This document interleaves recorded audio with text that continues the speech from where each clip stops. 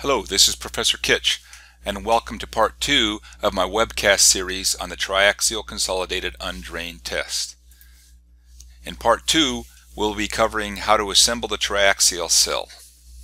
So let's get started. Well, here we are ready to assemble our specimen into our triaxial cell. I've got all the stuff here I need to do that. I'll show you the details of that in just a moment.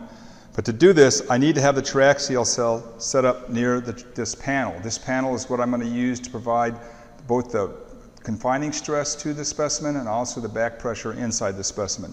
So this base of the cell will be hooked up to the panel, and I can't assemble it unless I'm near the panel. So to start this assembly, you're going to need to have the tubes to connect your base up to the panel. You're going to need one big tube like this. This is going to get connected to this center port here, and that'll get connected to one of these uh, lines up here, one of these sets of burettes, and that will be controlling the pressure and the fluid outside the specimen. Then we need two of these smaller tubes. Uh, one will be connected to the black line here, one will be connected to the red line there, and they will control the fluid pressure inside the specimen, one at the top and one at the bottom, and they'll also be connected to the panel. So before I get going, I'm going to come in close and show all the bits and pieces you need. It's really important when you start this part of it that you have everything you need right there uh, because uh, it's hard to run out and stop this in the middle of the process. First, I'm going to show you all the things we're going to need. We're going to need our triaxial cell base, the actual cell outside enclosure, the top cap, and then the three bars that hold it together. We're going to need uh, a bunch of O-rings, we're going to need these two larger O-rings. These seal the outside belt to the bottom and top cap. These four uh, medium-sized O-rings are the ones we're going to use to seal the membrane to the pedestal at the bottom and to the top cap. And then these two really small O-rings and these two pieces of tubing go inside to seal the tubes on the top. We're going to need our top cap, which is right here. We're going to need two pieces, pieces of filter paper, one for the top and one for the bottom. We're going to need our porous stones. Now I have a whole beaker here full of the porous stones because I'm going to do a bunch of these tests. And these have been boiled for 10 minutes uh, and then allowed to cool. That ensures that they're saturated and that there's no air in that water. We're going to need uh, a tube of vacuum grease to get our O-rings properly set up. We're going to need a bunch of strips of thin filter paper. They're going to go up the sides of the specimen to aid in drainage. And we're going to need our membrane, our membrane stretcher, and then we're going to need this tool to snap our O-rings on the bottom pedestal and the top cap when we get to that part. Uh, I've also got my drain lines already hooked up to the panel and I want to make sure these drain lines are completely saturated. So I'm going to open them up and watch it, make sure all the air bubbles come out of them until they're fluorine clear and there's no more air in them. So now the first thing I've got to do is make sure that my O-rings have just a little bit of vacuum grease on them so that they'll seal properly. It doesn't take very much. Most people put on too much vacuum grease. You just need just a teeniest bit on your fingers. And then you put it on the O-ring and then just make sure that it's a nice thin film all the way around. And as you do this, you shouldn't feel any grit or anything like that on the O-ring. If you feel grit, then your O-ring's not going to seal properly, and you need to go clean it off and get rid of all the grit. And I'm going to do the same thing with the top O-ring. I'm going to get a little bit of vacuum grease on there. Make sure that it's all in there all the way around. There's a nice smooth layer and there's no gritty stuff on there. Um, you don't need to lubricate these O-rings uh, here that we snap on later. We do need to lubricate these two O-rings that go inside the top cap. So I'm going to get them lubricated. Right, and then the last thing we need to put some vacuum grease on is on the sides of the pedestal at the bottom and the sides of the top cap, because that's where this membrane is going to seal against. It's going to seal against those two parts. So again, I get a little bit of vacuum grease, I put it on here, I rub it all the way around until I have a nice thin layer all the way around. I do the same thing with the top cap. Put a little bit of vacuum grease on there. And then with My thumb and my fingers, I go round and round to make sure I have a nice thin layer. Again, you want a thin layer. Most people put too much on.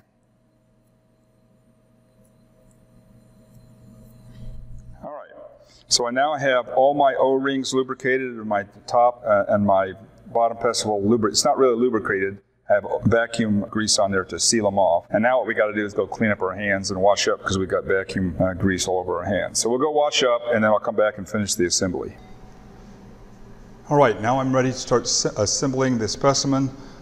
The watchword in this part is saturation. We want to try and get as much of the air out of the system as possible when we start this because the system needs to be saturated in order for this to run. The first thing I'm going to do is connect this line from the triaxial panel to the base pedestal. And I'll just snug that up a little bit with this wrench. Now I've run a bunch of water through this line to make sure that there aren't air bubbles in the line. And now I'm going to open up the line to the base. And what's going to happen, the water is going to flow through that tube in the bottom and it's going to come up the base. And then what I'm trying to do is get this system so it's completely saturated. So I want the water to flow through the base, up through here, and then I'm going to put my finger across here so it flows down, across, and down this hole, and then it's going to come up this side. I'm going to open this up, and this jumper between these two will bring it up here, and the water will flow out right there. And I just want to do this till there's no air uh, left in the system, and I've got it really completely saturated. So I'm going to open this up here, and you'll see the water pretty soon will come up here. There it is, going across. So now I'm just going to hold my finger across there so that I get water flowing through here.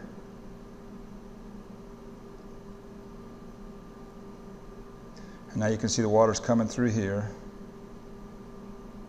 And it's coming out the top, and I'm looking to see if there's any bubbles and I don't see any bubbles, so I'm going to shut that off and shut this off. So now I have the base good and saturated. Now I'm going to let a little more water get on the base so that I've got water all the way across the base. Let me do that. I'm going to a little bit, a little more water come through the base. And now I've got a good meniscus of water all the way across the base. So now I'm going to take my bottom stone out of here. And what I'm going to do is lay it on here and just carefully slide it across the base so that I don't introduce any air to the system there. And there's my bottom stone. And you can tell that it's really saturated. All right, the next thing that's going to go on is my first piece of filter paper. So here's my piece of filter paper. I'm going to dip it in the water to make sure that it's saturated. And I'm going to lay it carefully on top of the stone. Next, I'm ready for my specimen. Take the specimen out of its wrapping.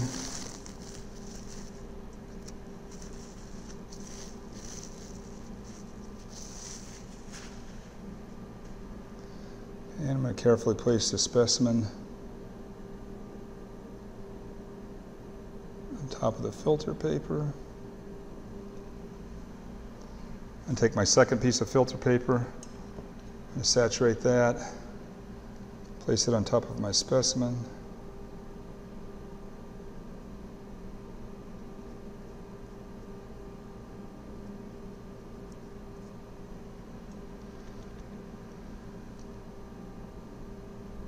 Just getting a little extra water on top of that so it's in good contact with the specimen. Try and get rid of as many air bubbles as possible on the top. We're not going to be able to get rid of all of them, but we'll try and get rid of most of them. All right, I'll take my next stone,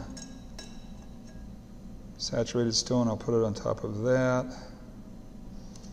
And then I take my loading cap and put it on top of the stone. Excellent. Now I've got to get my membrane here around the outside of this. And there's a really cool device to do that. It's called a membrane stretcher.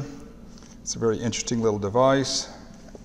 I don't know who created this thing or dreamed it up, but they were brilliant.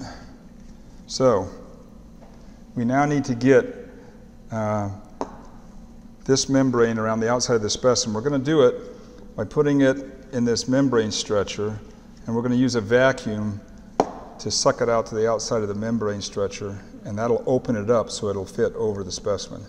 So what I need to do is put this on the membrane stretcher.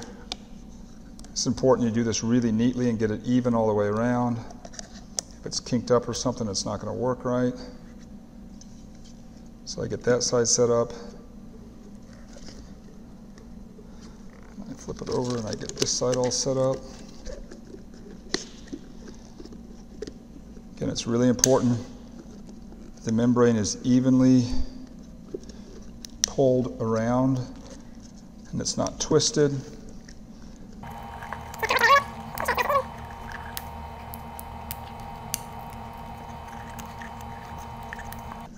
And then when we have it pretty evenly on there, we're going to put a vacuum on this tube here, and it's connected in there, and it's going to suck the membrane out to the edges and make sure that it's big enough to go over the specimen.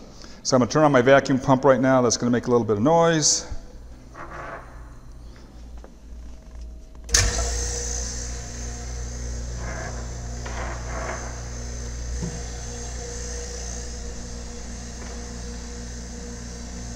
I'm going to hook this up to my vacuum line open that valve and then this is going to pull that membrane all the way out to the edges.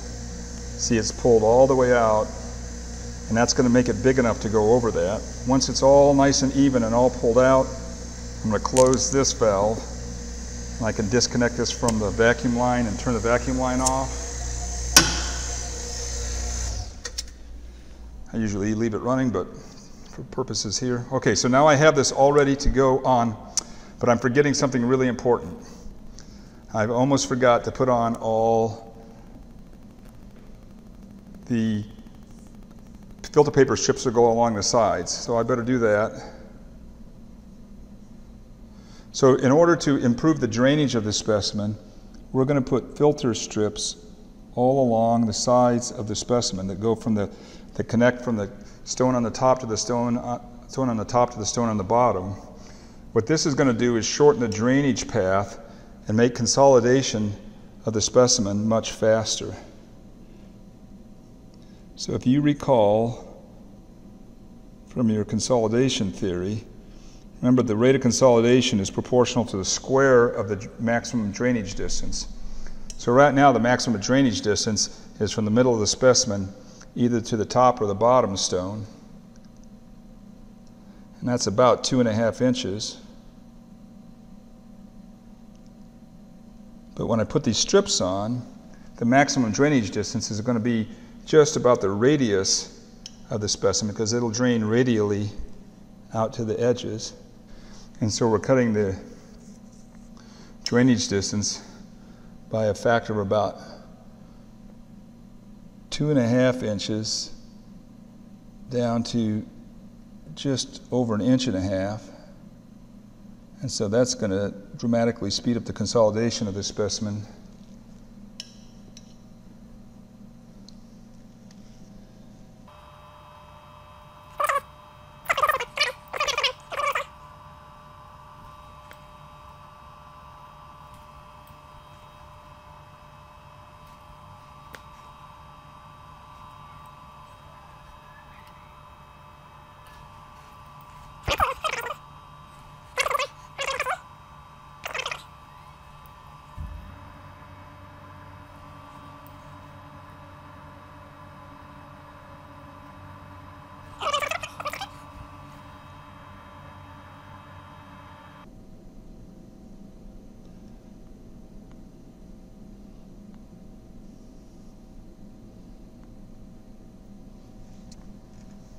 Okay, now I've got my strips all around there. I'm check my membrane still pulled out around there. So now I'm going to very carefully pull this, put this membrane that's stretched over top of my specimen.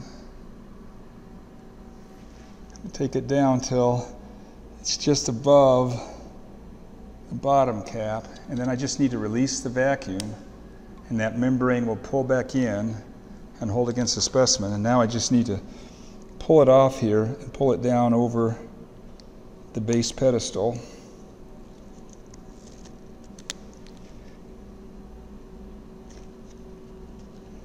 Make sure it's all around the base. And then I'll do the same thing at the top. I'll pull that up. Sure it comes over the top.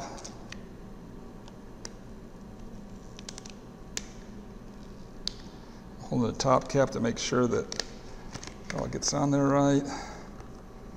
And take that off. And voila, I have my membrane all around the specimen. Isn't that a neat trick?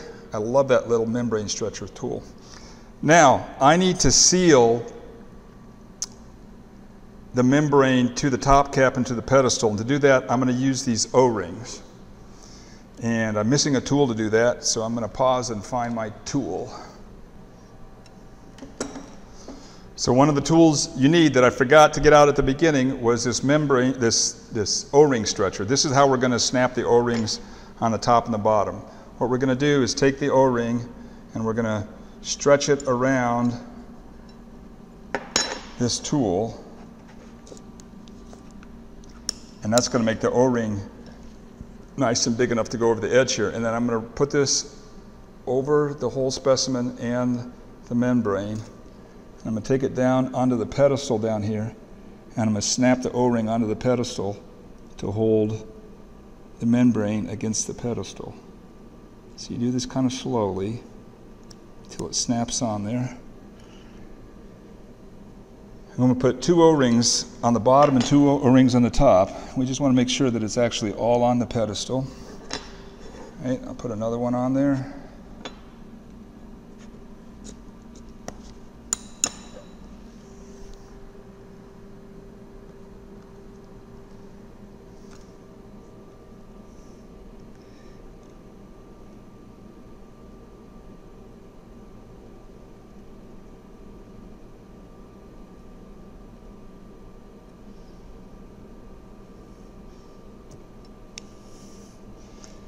There we go.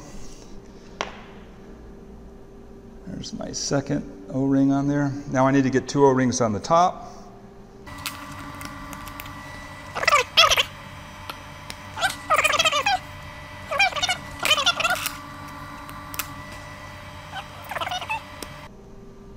Go around, make sure that it's on there right. That looks good. So I've got the membrane uh, sealed onto the pedestal. I got it sealed onto the top cap. I'm just going to turn the excess membrane here in the top over so that we have access to the top cap. Make it nice and neat and even here because I like it that way. It's not that critical. All right, now I have my specimen properly assembled uh, on the pedestal with the top cap and the membrane on. I just have a couple things left to do. I've got to connect these tubes to the top. I don't want to forget to put these O-rings in to the top that seal the tube on and put this little stub of a piece of tube on there that just hold, helps hold the O-ring in. Okay, and I'm going to put these two tubes uh, in. You got to make sure they go all the way through the O-ring. You can feel when they go through the O-ring, there's a little bit of resistance.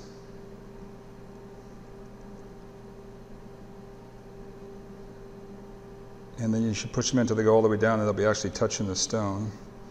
All right, so I have it pretty much assembled. Um, I have um, the bottom pedestal is saturated. I've got my specimen in there. I've got the membrane on, it's sealed. I've got all the lines connected. I just need to assemble the cell itself. So I'm going to take my lubricated O-ring here for the base. I'm going to put it in the base here, make sure it's actually in the correct groove that it belongs in. Make sure that's all the way in there. I'm going to set my outside cylinder on there. Now I'm going to take the other O-ring and put it in the top and make sure it's completely in the top where it belongs. I'm going to set this on top. Now, tricky thing is here, I've got to get this piston has to be able to go into the top cap. So I'm not going to put it all the way into the top cap. I'm just going to slide it down a little bit. So it's now in the top cap. And now I want to put my connecting rods on.